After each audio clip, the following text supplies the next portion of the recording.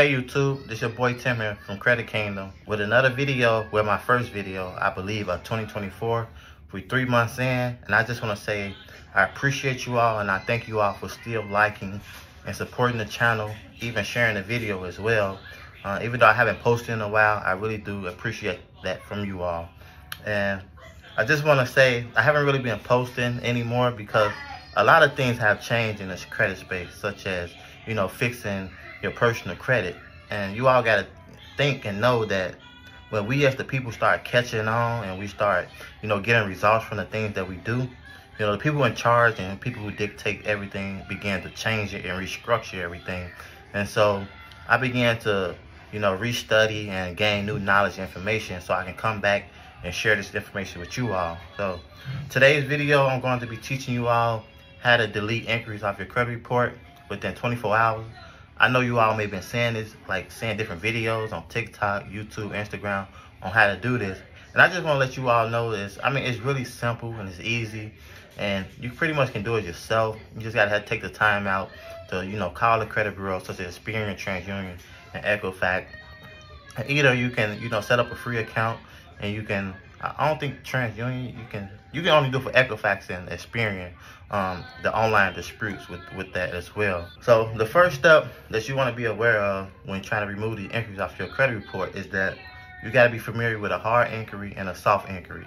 So a hard inquiry is when you actually go apply for something or someone else use your identity, you know, try to apply for a credit card, a house, or apartment, you know, a loan.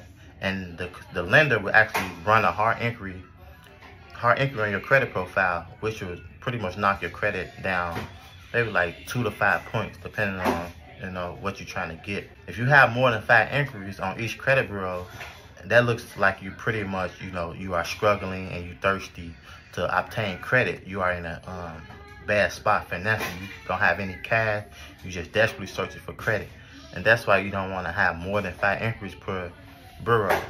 And and keep in mind too, a soft inquiry is you know, when you do a pre-approval for like any application, such as like I said before, credit card pre-approval, a mortgage pre-approval, um, a loan pre-approval.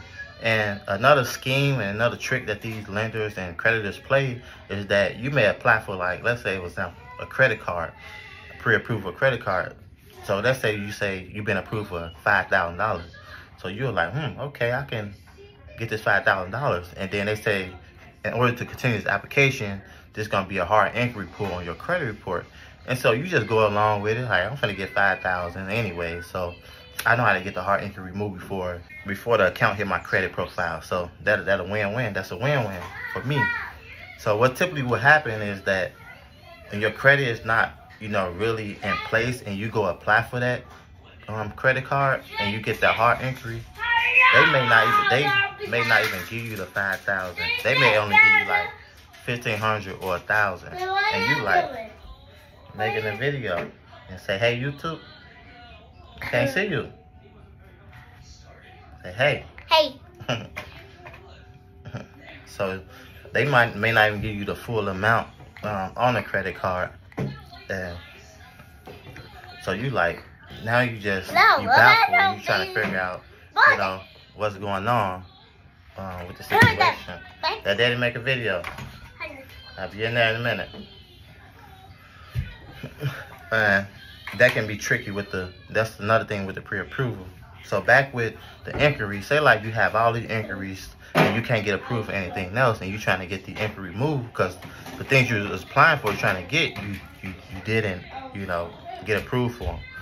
So now you got the inquiries on your credit report and it's really, you know, hurting you financially. So what you can do, like I said, you can call TransUnion, Experian, or Equifax. And be sure, keep in mind, the best time to call them is when they're about to, you know, shut down for the day. Because they are in a rush. They want to go home. They tired. They hungry. So they, they just want to just get you out the way. So they may just, you tell them your situation, like, hey, um, I received a copy of my credit report, and I noticed um, unauthorized inquiry that I didn't authorize um, apply for these things. And say, hey, these not open, these not um, not connected to any open accounts. I don't recall applying for anything. I don't re recall applying for any of this. So under, and you got to make them aware that under federal law, the Fair Credit Reporting Act, Title 15 USC 1681A, um, depending on which which law you want to use, 10, uh, Fair Credit Reporting Act. But the best one to get results is that 15 USC 1681A, um, that the consumer reporting agency such as Experian TransUnion Equifax must be, you know, precisely and accurate. Your credit report must be accurate and fair. So it can't be no inaccuracies. And so by these unauthorized entry reporting to your credit profile, that's showing an accuracy. So they need to get deleted immediately off your credit profile. And you want to be sure you, you're not disrespecting these people because, like I said, they may deal with rude people, harsh people all day, every day. And you just want to be, you know, nice to them. That's how they day was, how they day is, how's the weather, you know. Keep it simple, man. So, and another method that you can use um, to get the inquiries removed is just, like I said, you can do a, a dispute letter um, as well. You can use Chat GPT, which I found to be the easiest. Um, that you can tell Chat GPT to write you a dispute letter um, to get hard interest removed off your credit profile with these with these credit bureaus, and it'll you know pretty much type you a, a quick letter letter template within a few seconds. It'll be done, and you can just pretty much save it as a PDF, and you can upload it to Experian or Equifax. And the thing with Experian when you uploading, um, it's a, it's Experian slash upload. They give you five documents to upload. And I found that by using Experian slash upload, you get better results rather than signing into your Experian account and going to the dispute center um, and doing it that way. And with Equifax, it's pretty much the same. You just log into your Equifax and you go to their dispute center, help center, and you just upload your letter in there as well as a PDF. And be sure to add your ID, um, maybe your social security card, and maybe a proof of your address so they can know that it's you and you can keep that on file um, as your record that you actually did, you know, submit, submit these items to them to get these negative items removed off your credit. And back to the phone call conversation, when you're talking to these people, they may ask you, did you submit a FTC slash police report? Um, and do not tell these people no. Tell them that you did that and they may ask you, did you talk to Original Credit? And tell them that you talked to them as well. And they said, hey, I had to contact you all um, to even get these items removed because they see it's unverified as well. And it's not showing on their end. And once they, they may tell you, hold on for a second and don't panic and say, oh, oh, I did something wrong or I didn't do this right or they finna say I can't. These inquiries must stay on my file for two years and that's why I tell you, you got to make make them uh, be aware that you know exactly what you're talking about when it comes to the Fair Credit Reporting Act. Because they're going to try to play games with you. And once they tell you to hold on, they may tell you, hey, it's going to take 30 to 60 days for these items to get deleted off your credit. In which they just say that just to maybe discourage you from trying to, you know, dispute again. But really, it's going to be gone within, they just angry. it's going to be gone within like 24 hours. So, and another thing too, if you are sending these items uh, through the mail, don't use the address that you see online because those addresses, no real human is gonna see those. Them like they, them like addresses where everything get ran through like uh, AI, um, the AI system, artificial intelligence. So the letters getting sent through these machines and they're just sending code back and forth to the creditor, to the credit bureau. And to get that real address, you must have um, I can get to that. But yeah, to get to their real addresses, you can go to the CFPB or the ADR uh, website, and you can type in Experian, TransUnion, Equifax, and it will show you the exact address to send your items to.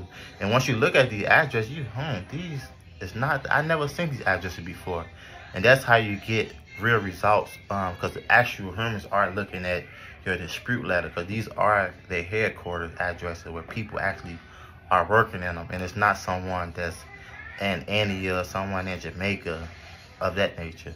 Also, keep in mind um, when you are removing the increase off your credit profile, do not ever in life, you know, try to remove an inquiry that's connected to an open account. So, for example, if you have a Chase or American Express or Capital One, Credit One, um, a Navy Federal, any account that you have as far as a credit card account, and you try to dispute and remove that inquiry, um, when you have an account that's you, you currently using, they will they will actually close your account because they will think it's um, fraud and an identity theft um, for that credit card. So they actually will shut your card down. Um, so don't ever dispute or try to remove an inquiry that's connected to an open account. And I will show you all how to remove an inquiry on for account that you have open, but you can remove it before even report to your credit profile. Uh, so that's another gem I have to share with you all as well. And so, like I said, thank you all. And I will be adding um, in the description uh, um, an example of uh, an inquiry dispute letter that you all can use. So always, you can customize it to your own um, as well. This just to give you an idea how it should look. Because um, I will be using ChatGPT and I will add that letter in the description below. So be sure to check that out. If you all have any questions or concerns, be sure to hit me up on this YouTube channel, Credit Kingdom, uh, in the comments or send me a message either through my business Facebook page, Credit Kingdom. I will actually put that in the description below as well. And I'm currently doing some reconstruction to my website too. So feel free to contact me if you have any more questions or concerns.